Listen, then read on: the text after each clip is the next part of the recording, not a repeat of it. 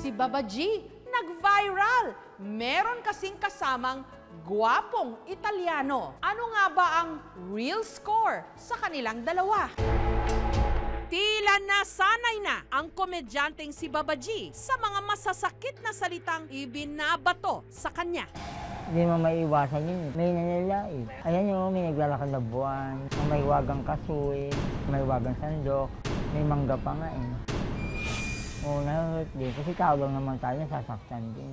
Pero sa linggong ito, huyu ang lahat nung kumalat sa social media ang mga litrato niya na sweet na sweet kasama ang isang foreigner bay, ang sigaw tuloy ng netizens, sana all!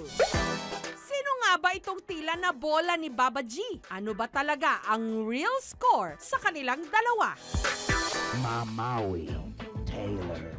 Magmula ako sa pansab ni Aramina sa bubble gum. Tapos hanggang sa sinama ko ni Diego, na ako sa mga taping-taping.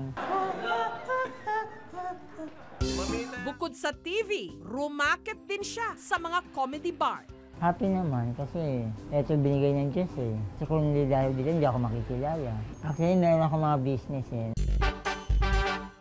Nagdi-deliver ako ng mga dilata, mga pagkain, mga damit. Kumikita naman ako a day ng ano, mga 5. Ang kanyang kinikita, ipinantutulong ni Baba G sa kanyang pamilya. Nasa tao naman yung kung mahirap ang buhay, conforme naman kasi yun sa ano mo, sa sipag mo. At mainggit na raw kayo lahat dahil nagka-love life din daw siya. Maliit, pogi naman. Tsaka mabait naman siya eh. Minsan pupunta siya sa amin, dyan ng pagkain. Tapos minsan nakita ko siya sa kanila, nakatambay doon sa tindahan nila. Tapos binibigyan niya akong biscuit, soft drink, kinikilig naman. Siyempre masaya. Kasi may nagmahal sa iyo, eh. Wala- Dami-daming taong dapat mahalin eh, di ba? Ikaw ang pinili. Yun nga lang, hindi raw sila nagtagal. Gusto ko sumabog. Gusto ko magsabi ng mga masasamang mga words. Gusto ko muna mapag-isa. Kasi lang kasi kami sa ginagawa, siya nag-aaral siya, ako nagtatrabaho ako. Nagpa-plan lang tayo, marami pa tayong ginagawa. Kasi ano yung love life, nandiyan din na naman yan eh. Ang hinahanap daw ni Baba G na spark, muli niyang naramdaman nito lang nakaraang linggo nung nasilayan niya backstage ang isang foreigner na si Chiro from Italy. Naniniwala na ako sa forever Magmula nung nakilala kita Eh kaya nga di ako sumurrender Ano man ang sinasabi nila Sa may Itbulaga. nag si Diego, pinakilala ako. Kasi sweet kasi siya eh. Niyakap ako. Sabi niya, hello, kamusta? Tapos ako, ang gwapo naman to, na-inlove ako eh. Napakabait. Saka walang arte sa katawan. Ibinigay naman daw agad ni Chiro ang kanyang cellphone number, pati na ang kanyang Facebook account. At para may remembrance ang kanilang unang pagtatagpo, nagpicturan sila. At nung ipinost ito, sumabog ang social media. Si Baba G, ang haba ng hair. Kat sa'yo natagpuan Ang pinakait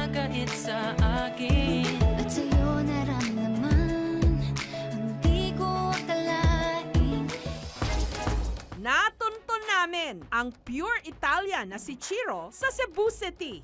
Sa Naples, sa Italy raw siya talaga ipinanganak.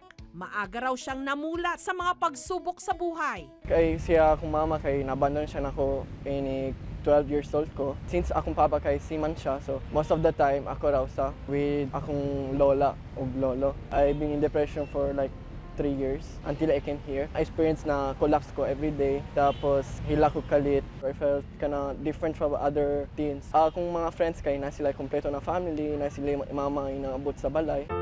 Hanggang ang kanyang ama, meron daw nakachat na Pinay. He decided to come here in the Philippines kay na-love siya niya. Ari siya kong papa sa second time kay nakuyag sa niya. Before na ari ko di sa Philippines, I was very scared. Wako kiba what will I uh, encounter here. But through the years, I find out na Filipinos are very welcoming people. Uh, feeling ako kay Filipino jud ko ba?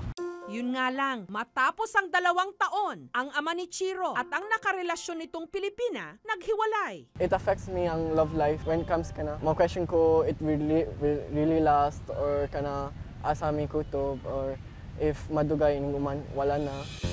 Gayunman, nanatili si Chiro at ang kanyang ama. Ipinagtapat ni Chiro na na-in love na rin daw siya sa isang taga rito. But we only last three months. Dili pa mi prepared for a relationship na seryoso na kayo.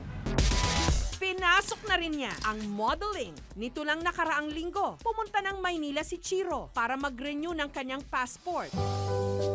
At nung nagkayayaan daw sila ng kanyang handler na manood, nakilala niya si Baba G. Ikaw ang bida na prinsesa ng drama Ikaw yung action star na leading man Parang pelikula pag tayo nagsama Ang umextra di pagbibigyan Na friends mi Diego kay akong ma- best friend sila sa akong manager. Papa G is really a friendly person. Down to earth kayo siya sa unang pagkikita, ayon kay Chiro, iba ang feeling at kinilig naman si Baba G. Ang cute niya, ganda niya. Ang sweet niya, unique siya, exotic beauty dyan siya. Masayang masaya kasi sa dami-dami bakit ako pa. Nanalo na ang mangga. Ipaglalaban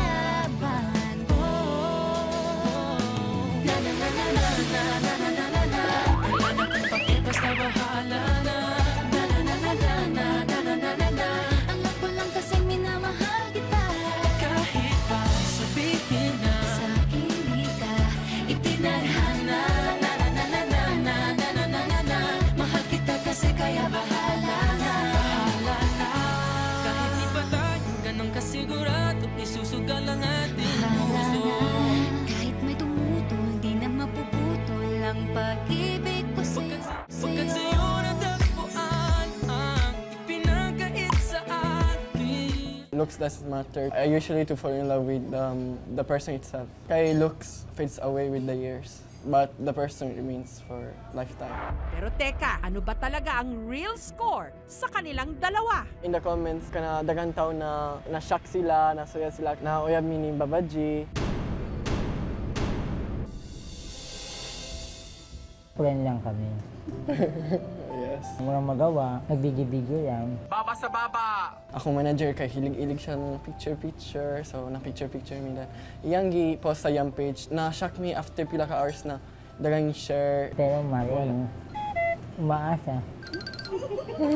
Parang gusto ko nga sa kanya painom lahat yung alak na yan. Eh. Baka sakali gumanda ako sa paningin niya.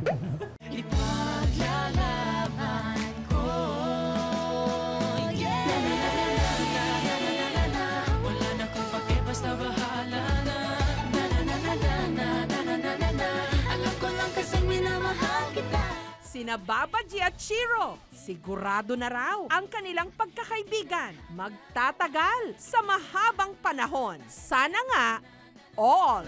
Mahal kita kasi kaya bahala na